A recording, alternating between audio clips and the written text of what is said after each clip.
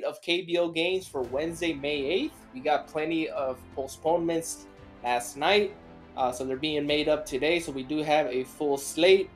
Our slate yesterday was a DNP. Uh, so hopefully we can get some games in today. I do have five props. They're all pitcher strikeouts.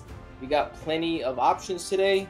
I'm going a full full blown strikeout list. So let's get started. First one I'll be going with, and probably my top option, is Um Sung Back at pitcher strikeouts at five. We have push equity. He has gone over five of five. The only problem with him, he does have a high ERA. He is going against the second place team. So I don't think he's going to last to five innings, but I checked the past couple of games and even three, four innings, he's been getting more than six strikeouts. So he is a high strikeout pitcher. It's just how long he's going to last and how fast the NC Dinos will get to him. If you want, you can take his hits allowed.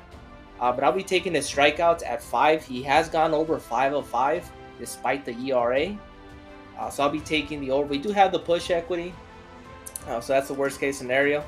Second, I'll be taking is Brandon Waddell. Strikeouts at six. We also have push equity. Past five starts, he has gone over four of five.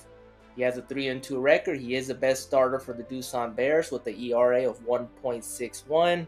He averaged about six innings a game. So going against the Kiwoom Heroes, uh, they're both in the middle of the standings, so he should have a quality start. And I have him projected to get seven strikeouts in this one.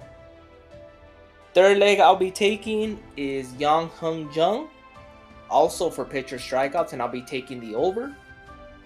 Has five starts, he has gone over four of five. He is 3 and 1 with the 302 ERA. Uh, he is a workhorse for the Kia Tigers and he does pitch deep. Going against the Samsung Lions, so he should get this win against the Samsung Lions. Kia Tigers are obviously the number one team in the KBO.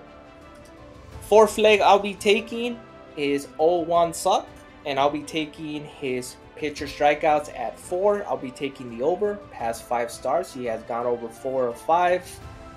You got push equity as well. And my final prop will be Casey Kelly. And for him, I'll be taking the under on him. Past five starts, he only's gone over once. Uh, so I'll be taking his under on his strikeouts. He does he have an ERA of 5.09. Uh, he needs five to beat us. I think this might be a push option.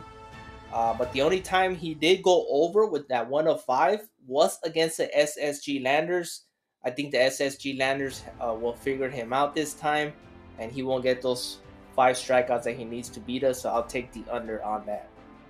So we got a lot of push equity. This is a push equity slip, uh, but I think the math is there, the research is there. Uh, the odds are in our favor. I mean, they all, they all gone over four of five, if not five of five. Uh, so hopefully, if they pitch to their capabilities, they should cash for this. I'm hoping it'll be a four of five, if not three of three, with a couple pushes. Uh, but these are my options. All pitcher strikeouts, Sung Back, Brandon Waddell, Yang Hyeon-jong, and All One Suck, all over pitcher strikeouts. And final one will be Casey Kelly under pitcher strikeouts. So mix and match, pick your favorite. Please like, subscribe, and comment. Appreciate the support. And I'll see you guys in the next one.